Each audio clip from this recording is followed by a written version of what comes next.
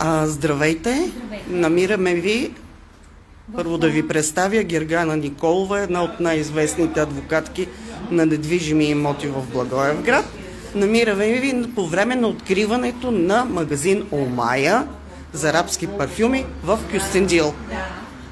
Какво вие ще ни кажете за всичко това? А, аз съм почитателка на марките парфюми с високо качество и откакто съм опитала парфюмите, които, предлагаме в магазина мога да кажа, че качеството е доста високо, на доста достъпни цени, така че всеки да може да се позволи. Един от моите любими аромати е този и го ползвам и в момента.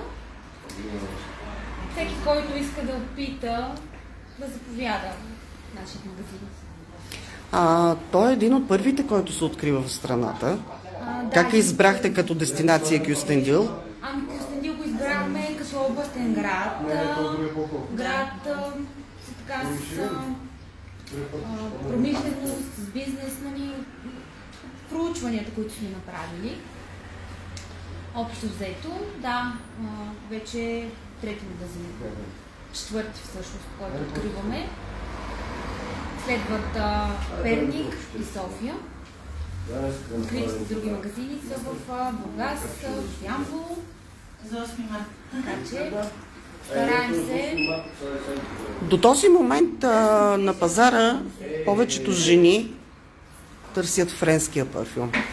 Как ще ги убедите, че арабските парфюми са малко по, освен че са по-достъпни, а, да ги предпочитат тях? Ще ги убедим последният начин. А, Арабските парфюми, а, самата, самото свойство на парфюма е от масла. Самата наситеност на парфюма е с повече масла, за да може парфюма да бъде траен, а, да бъде не високо ниво, Не се задълбочава. като другите маркови парфюми. Какво очаквате повече жени или мъже да влязат в магазина?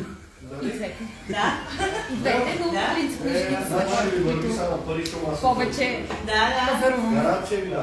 Какво, какво пожелавате на магазина в Кюстендил? Пожелавам много успехи, пожелавам много продажби и най-вече здраве на нашите служители. Мерси!